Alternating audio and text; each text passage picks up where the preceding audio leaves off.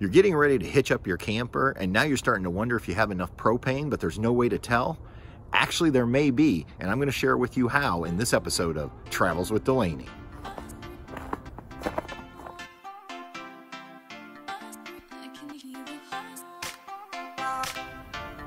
Welcome back, everyone. Before we get this week's episode started, I'd sure appreciate it if you haven't subscribed, if you'd hit that subscribe button and the little bell right beside of it so you get notified each time that we put out a new video.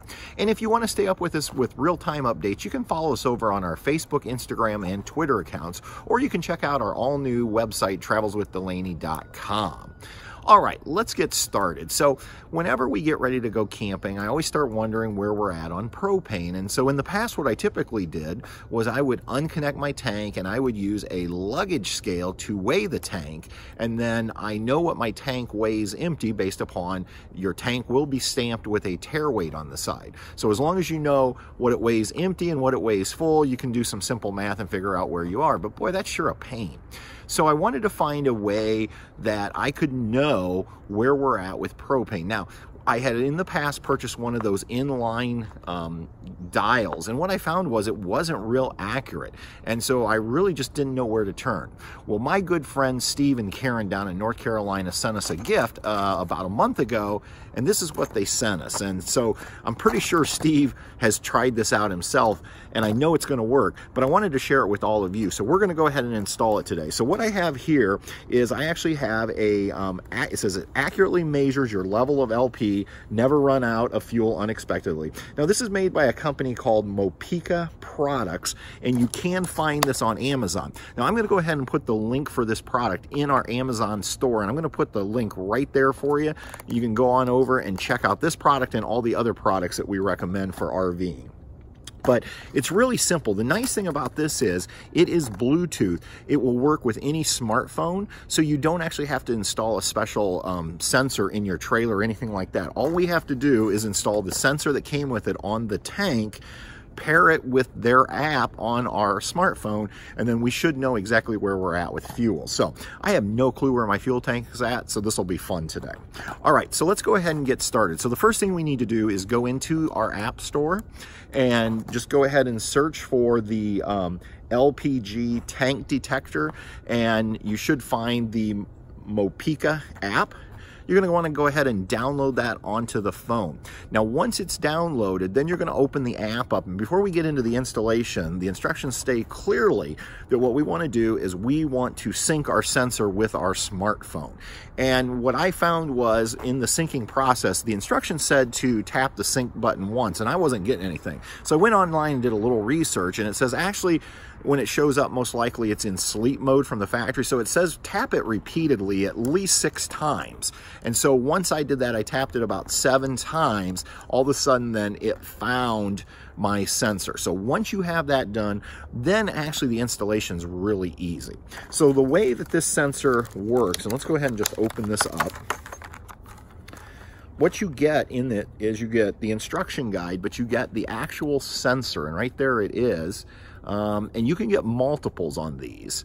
So if you have more than one propane tank. And on the back, you're gonna see there's two magnets, and that's what's actually gonna hold it to your propane cylinder. And then in the center is the actual sensor. So that comes with it. They also give with you the, in the kit some little metal clips. So if your tank is going to be sitting on the ground or on a flat surface, they recommend putting these on the bottom of your tank to raise your tank up, um, mainly so that the sensor can emit the Bluetooth signal more easily. Now, in our particular NuCamp Tab 400, I put on recently the diamond plate bucket, and that actually has a solid surface. So we're gonna go ahead and install these clips quickly onto our propane tank.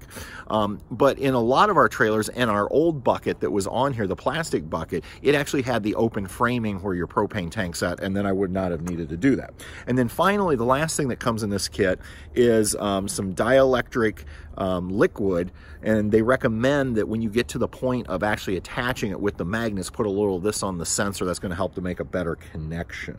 So that's how simple it's going to be. Let's see if it really is that simple. So I'm going to go ahead and move on over to the bucket where our propane tank is.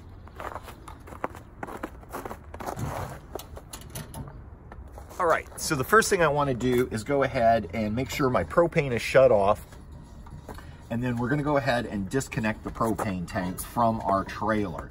Now, the reason we're gonna have to do this is we have to get to the bottom of the tank to actually install the sensor. So we'll go ahead and loosen, if you have a mounting bracket, let's go ahead and loosen that up.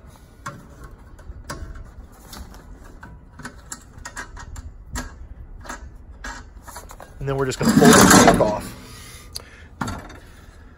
Now, we're actually gonna be installing it right here in the bottom, and you want the sensor, it says, um, as close to center as you can possibly make it. It also recommends that you go ahead and clean the surface really well.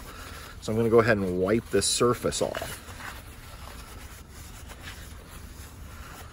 Again, we wanna make a nice seal for the sensor.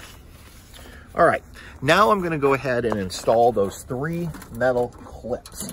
And all you have to do is really just kind of spread them out and they just push down, okay, just like that. Hopefully you can see it there. There's one. I'm gonna try to put them spread out.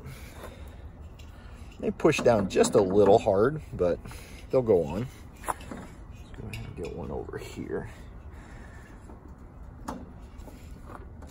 So now that we have our three feet placed on the tank, which is gonna help keep it off of that surface, I wanna go ahead and just kind of do a test run by placing the sensor here, and we want that center circle, that's the actual sensor. We wanna try to get that as close as possible, it says, to the center. And you can see it just clips on. And then what we're gonna do is we're gonna go ahead and check on our app to see if it's actually reading. All right, so if we look at the app, we'll see that it's actually reading that there is 27% left in our tank. So our sensor is actually working now. So now the last step I really want to do is I want to go ahead and put a little bit of that dielectric liquid or gel on it just to make sure we have a good seal at that point. So I'm gonna go ahead, and again, it's not gonna take a lot here. So we just lift it up.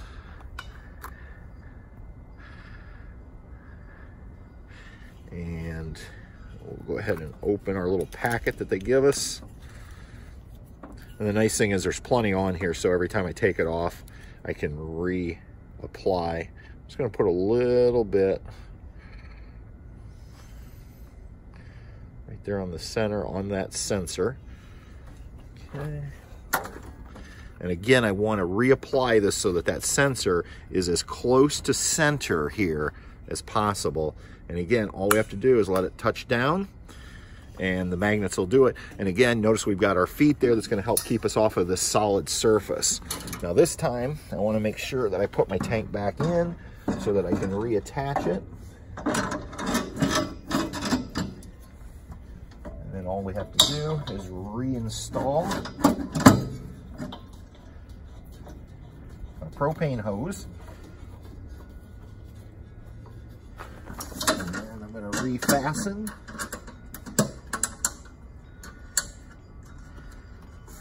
And we can go ahead and turn our propane back on.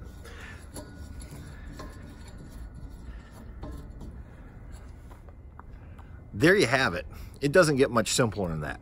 Now, just a couple things to remember after you unconnect your propane tank and you reconnect it and turn it back on, you're gonna wanna go inside and open up, um, and what I usually suggest is use your stove top. Go ahead and open it up and light your stove and let it burn for 15 or 20 seconds just to get any air out of the line. That way then when you actually do go to use your trailer and maybe you fire up your water heater or your furnace, you won't end up having an issue where it won't light because there's air in the line. But other than that, this is going to be a great way to know where we're actually at specifically with our propane tank. So you don't have to ever run out again when you go camping. All right, a big thank you to Steve and Karen down in North Carolina for sending that to us. If you want to find it, like I said, go over to our Amazon shop and you'll find the link for it. And until next time, everybody, we'll see you on down the road. Good night.